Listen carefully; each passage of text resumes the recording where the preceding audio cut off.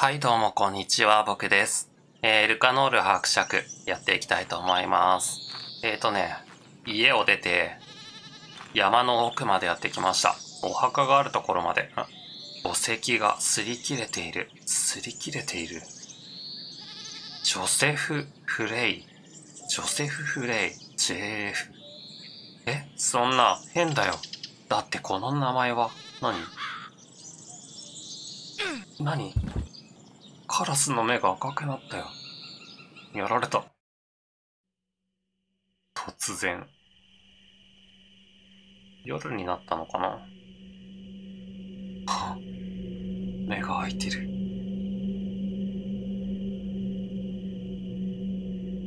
起きてるの？起きてるんですかねあ、起きてる。カラスがいる。これはカラスの目？カラスの目が赤い。このハンスくんかわいい。美形ですよね、ハンスくん。ショタ。絶対モテますよ。あー、食べられる。カラスに食べられる。夢でしょ。うん、絶対夢落ちですよ、今のは。まあ、夜になってました。カラス、魂をセーブする。なんで？ここで魂をセーブするの？うん。似てて頭が寝ちゃってたみたいだ。真っ暗で寒い。家に向かおう。帰るんですか？来た道を戻らないと。けれどすごく暗い。ろうそくを持って行った方がいいな。ろうそくあったっけさっきここに。落としたやつさっき拾ったやつかな真っ暗だね。田舎の、田舎の夜は暗いって言いますもんね。あ、あー、川が赤い。川が赤いし、なんで、これなんだろう、アヒル？カルガモ？なんで分断されちゃったの？何してるのこれ？ひよこ。ひよこ。何もできないな。ん？この流れている血は全て戦争で死んだ人間のもの。怖いこと書いてある。さっきと書いてあること変わってるんですけど。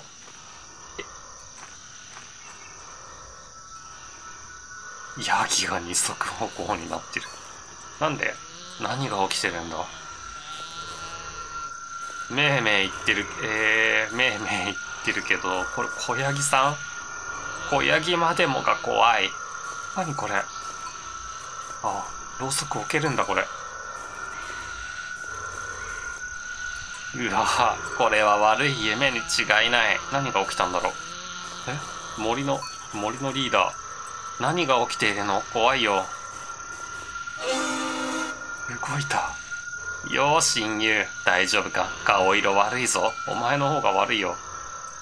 もうヤギなんて信じられないよな。何が起きたんですかね、これ。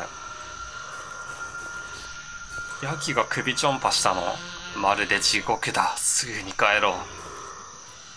あ、ろうそく立てちゃう。うわこれは悪い夢に違いない。これ怖くないっすか？ヤギだよ。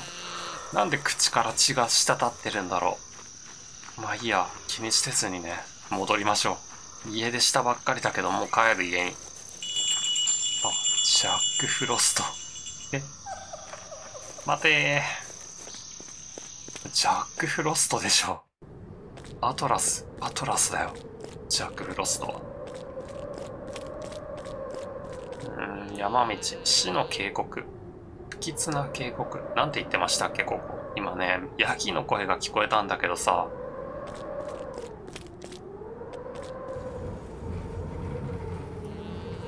やべ、ヤギの声がする。来てるでしょ。ほら、ほら、ほら、ほら。ちょっと待って、待って、待って。めっちゃ来てるやんけ。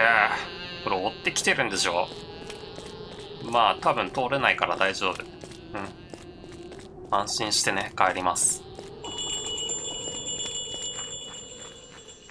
うんうん、とりあえずジャック・フロストを追いかける、追いかけていけばいいのかな。青い妖精は莫大な財産、財宝をも守っている。青い妖精って今のやつだよね。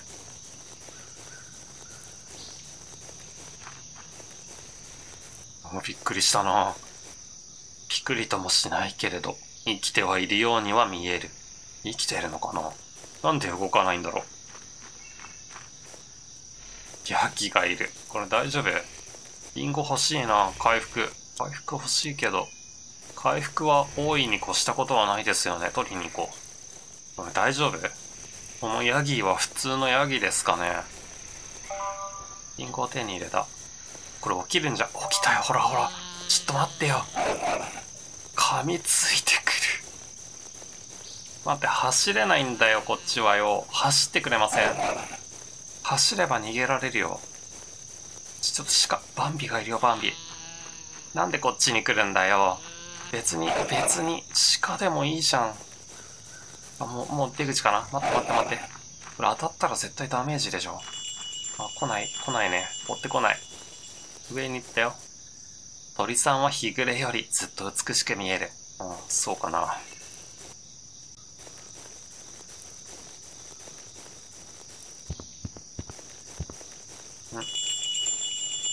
そこ行けばいいのかな壊れた石像だ。元は庭園だったみたいだ。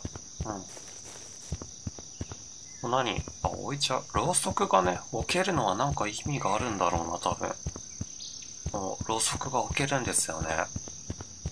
こうやって進んでいくのかな下水溝だ。けれど格子を外せない。うん。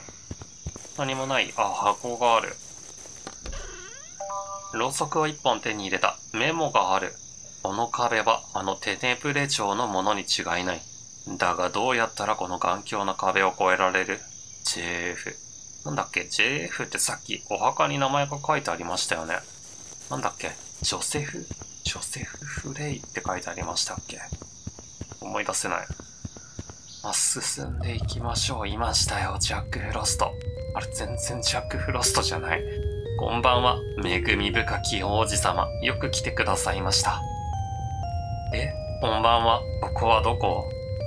ここはテネブレ城の中、世界一偉大なルカノール伯爵のお城の中です。伯爵がこの近くに住んでたなんて知らなかったよ。我が主は実に慎重な方で、表に姿を現しません。もしや、我が主の遺産を求めて来られたのですか？遺産って我が主、ルカノール伯爵。巨万の富を持ち、その領地と意向は遥か遠くにまで及ぶ。しかしながら、我が主は悲しみ、苦しんでいます。若かりし頃は遠くになり、後を継ぐ男子もいません。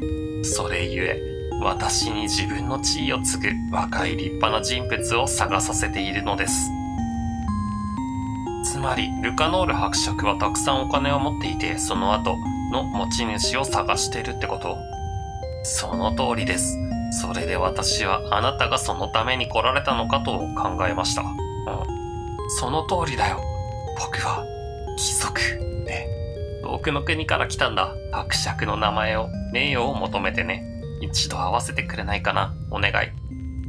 あなたの熱意に感服いたしました。しかしながら、我が主に会う前に、あなたが後継者にふさわしい人間か確かめさせていただきます。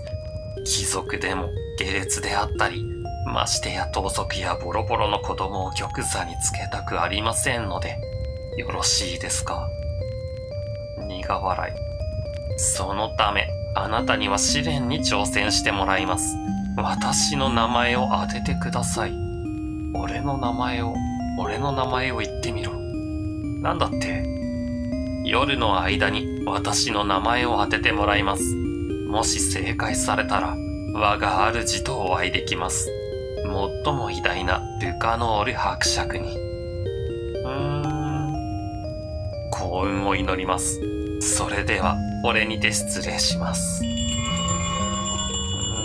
意外とね、礼儀正しい妖精さん。すごいや。もし彼の名前を当てられたら、僕はお金持ちだ。案外早く念願、念願叶うんですかね。進んでいきましょう。暗いな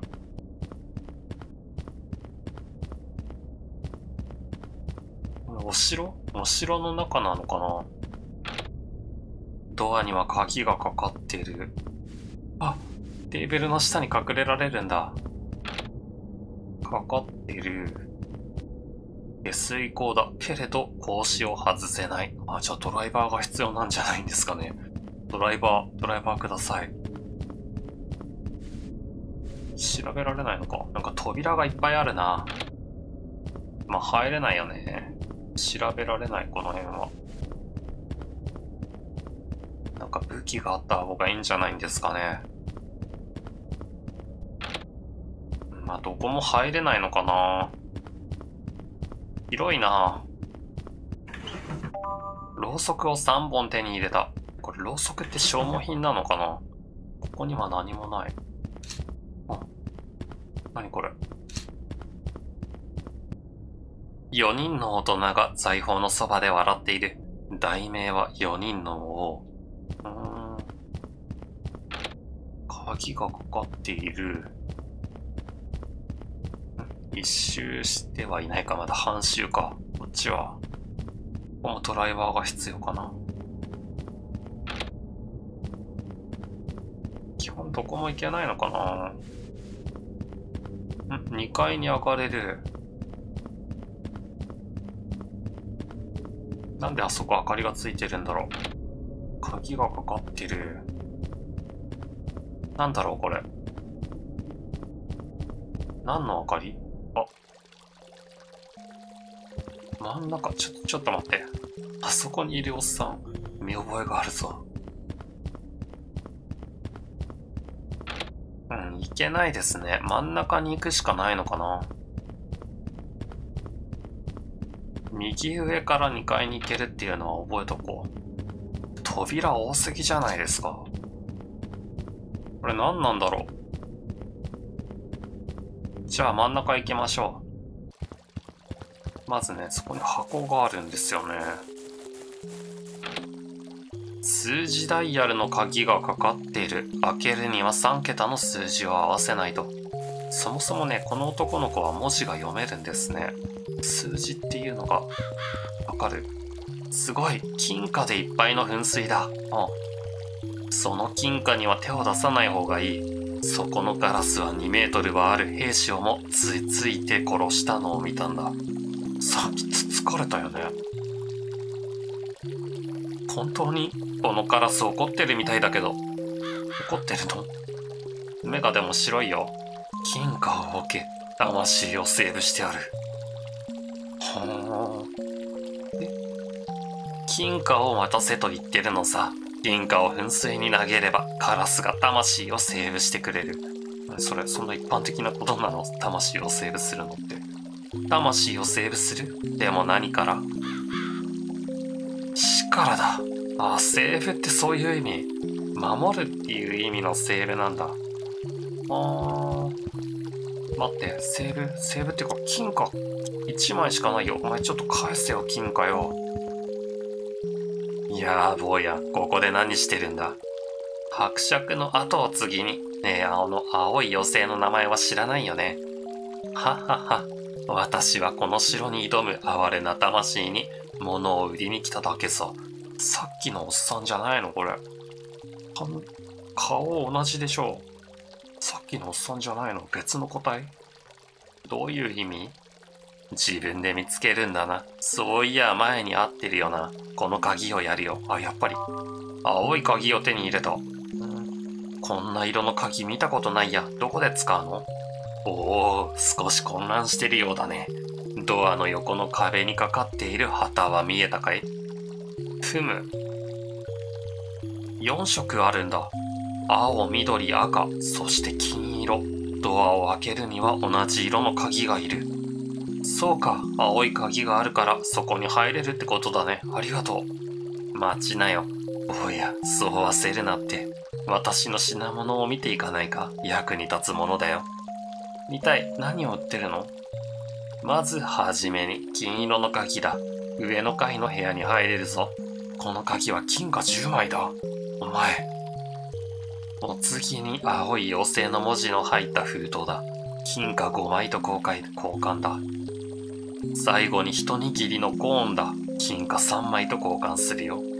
それと岩場で会った時助けてくれたお礼だよ。この封筒を受け取ってくれ。これで貸し借りなしだよ。金貨返してほしいよね。ん？L の文字を手に入れた。何それ？ありがとう。何それ？封筒、あ、封筒もらえたってことなんだ。うーん。私が探索のためにあげた鍵を使いなさい。そしてもし、輝く金貨を見つけたらどこで使えばいいかわかるね。ははは。セーブすればいいですと。そういう感じなんですね。金貨が、金貨が欲しいな。これセーブしたらなくなっちゃうんでね。ちょっとこのまま進めていきたいと思います。時計がある。2時15分。夜中の2時ってことかな。夜中の2時15分。そこのダイヤル式は何かわからない。あ、右に行くんだ。青い肌のそばのドアを開けられる鍵。うん。青い妖精の名前の一文字。商人がくれたもの ?L。L。じゃああの妖精がルカノールじゃないの？もしかして。じゃあね、進んでいきましょう。あー、旗。あー、なるほど。これがいけるってこと？あ、開いた開いた。普通に開いたよ。宝箱があるよ。檻のせいで宝箱を開けられない。なんとかして溶かさないと。溶かせるのかこれ。何か仕掛けがあるのかな？はしごは壊れている。上に登れない。火が灯せる。いいですね。そういうの。明るいのはいいことだ。他にもあったのかな？火を灯せる場所。うん、明るくなった。どっか火を灯せる？え？何あれ？誰かいるよ。何してるんですか？ねえ。キャー。ジュリアジュリアでいいのかな？うわぁ。殺さないで。子供に化けた怪物でしょ。僕は怪物じゃないよ。子供だよ。ただの子供だよ。はあ、そうだったの。でも驚いた。あなたが近くに来たの全然気づかなかったわ。足音を消すのすごくうまいね。あ、ごめんね。私はジュリア。僕はハンス。よろしく。ハンス、あなたは何をしにこの城に来たの？ルカノール伯爵の遺産をもらいに来たんだ。正直、不明同じ目的なんだ。君も妖精の名前を探してるの。あの青い生き物のことまさか、私は一人で生きるの。伯爵の座に興味はないわ。私は財宝だけ欲しいの。こっちも正直。ええー、そう、私はトレジャーハンターなの。君が？街から街を歩き、財宝の噂を集めるの。でも簡単なことじゃないわ。危険がいっぱい。七つの目を持つ怪物。漆黒の地獄の生き物。血に染まった寄生獣。寄生獣。身の毛もよだつ恐怖の呪い。体を引き裂く恐ろしい罠。だから、私は本当にとても慎重な人間なの。すごい。僕も君みたいなトレジャーハンターになりたい。冒険に出て怪物を倒すんだ。よければ秘訣を教えるわよ。うん、お願い。君から教わりたい。戦うのかな？うん、それじゃあまず、これをあげるわ。これこそがトレジャーハンターにとって一番大切なものよ。ろうそく。あ、しかも10本。ありがとう。ろうそく怪物を倒す剣や防具じゃないのがっかりだよ。正直。トレジャーハンターは戦士でも兵士でもないわ。私たちは戦わない。隠れるの。無謀なことはしない。考えるの。腕の立つトレジャーハンターは最小の危険で最大の成果を生み出すの。かっこいいね。ええね、なるほど。でもそれでなんでこんなにたくさんのろうそくが必要なの？一本だけでも持っていれば十分明るいけど。あなたは長くこのお城にいることになるわ。想像してみて。歩いてて恐ろしい怪物が真っ暗な廊下の隅から急に現れたら、首に牙が食い込むまで気づけないわ。でも前もってろうそくを置いておけば気づくことができるわ。好きなところに置くことができるしね。ほー、そういう感じなんだ。でもろうそくを置いても燃え尽きないかな。何日も持つわよ、心配しないで。もしろうそくを置いておけば、あり続けるわ。法則を置いておけばあり続ける。あなたが持っていかない限りね。うーん。だからろうそくは大きな助けになるわ。つまり最高の実践経験になるってわけね。わかったよ。ドアでいっぱいの廊下を見たろうそくをあなたは好きなところに置いて歩けるわ。でもいっぺんに同じところに置かないでね。無駄になっちゃうから。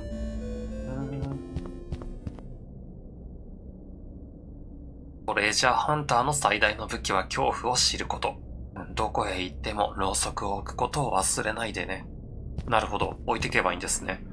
はい。じゃあ今回はここでキリがいいと思いますので、ここで終わりにしたいと思います。はい。最後までご視聴いただきありがとうございました。ではまた。